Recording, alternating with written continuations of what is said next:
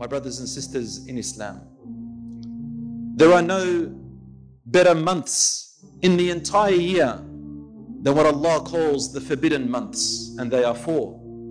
And among these four forbidden months, the most important month, the most beloved to Allah among them, is the month of Dhul Hijjah, which we are in right now.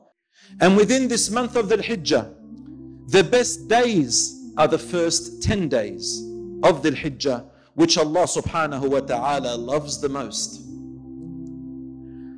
Allah subhanahu wa ta'ala swears oath by these 10 days in Surah Al-Fajr where He says, and by the dawn, and by the 10 nights. Ibn Abbas radiallahu anhu and other companions said, these are the first 10 days of Dhul Hijjah. My brothers and sisters, Allah subhanahu wa ta'ala, uh, Rasul sallallahu alayhi even said that these days are the best days in the entire world, better than every other day during the entire year.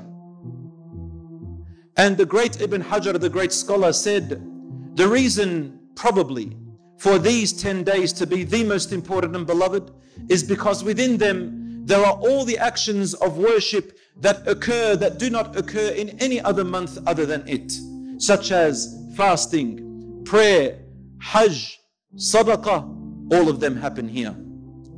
My brothers and sisters, these days are even better than the last 10 days of Ramadan, except that the nights of the last 10 days of Ramadan are better than the nights only of Dhul Hijjah. As for the daytime, they are the best. There is no better day. My brothers and sisters in Islam, for this reason, we must increase in our good actions and good work in these 10 days. And we must enter into these 10 days, every Muslim should enter it by seeking forgiveness from Allah subhanahu wa ta'ala as an introduction. Clear yourself from the past sins as much as you can and ask Allah subhanahu wa ta'ala to forgive you. Then increase in all the good acts. For wallahi, in these days, every good act is higher and greater and more magnanimous than any other day. But at the same time, the sins and disobedience to Allah in these 10 days are also magnanimous and mean more seriously than any other days. Why? because sins in the days which Allah subhanahu wa ta'ala has honored for Himself are greater and more serious than other days. Therefore, if you do a sin in these days, do not wait. Immediately repent to Allah subhanahu wa ta'ala and say astaghfirullah. Do not delay. And if you do a sin, follow it up with a good deed. The good deed will wipe it away, insha'Allah, as the Prophet wasallam said. The Prophet, peace be upon him, said, There are no days that are more beloved to Allah in doing good acts than these 10 days. The companion said, O Rasulullah, even going to fight in the cause of Allah and dying? He said, even that, except for a person who goes out with his own self and his own wealth and does not return with any of them. Meaning, brothers and sisters, these 10 days, nothing can match them, even the life of a person fully given for the sake of Allah. The Prophet ﷺ also said, There are no greater days than these 10 days, and there are no actions that are more beloved and closer to Allah than these 10 days. Then he said, Increase in repeating the following words Subhanallah, Allah is the great, Allah is most glorified. Alhamdulillah, La ilaha illallah, and Allahu Akbar. Say them out loud in the mosque. Say them out loud at home. Say them in your car. Say them when you're walking and it is preferable for the men to say them loud and the women to say them silently.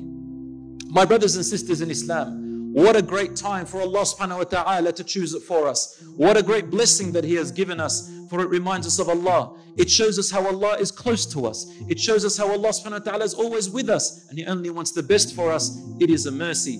It also shows us the connection and the oneness and the unity between all of the Muslim ummah all around the world as we celebrate this time and as we do good acts with all our brothers and sisters, including the ones who are in Hajj right now. Brothers and sisters, among the good deeds that we can do in these 10 days are the following to pray your prayers on its time. Try your best not to delay the time of Salat and increase in voluntary actions of Salat, like your sunnahs and the other voluntary Salat.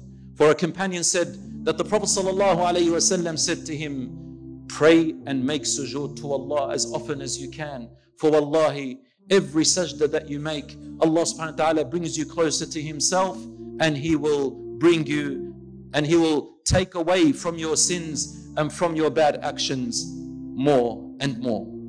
My brothers and sisters in Islam, among the things that we can do also is to fast as many days as we can from these first 10 days. The scholars have, the majority of scholars said to fast most of these days or all of them is among the highest virtues of Islam. If you cannot fast all the days, then at least do not let the day of Arafah, fasting the day of Arafah, pass you. When is that day? The day of Arafah is the ninth day of Dhul Hijjah. Aisha radiallahu anha says that the Prophet sallallahu wasallam never missed the ninth day of Dhul Hijjah except that he fasted it. The Prophet, peace be upon him, told us about that day of Arafah, saying, I hope from Allah subhanahu wa ta'ala, and I have asked him that whoever fasts it, all their sins one year before to be forgiven, and one year forward to be forgiven, insha'Allah ta'ala.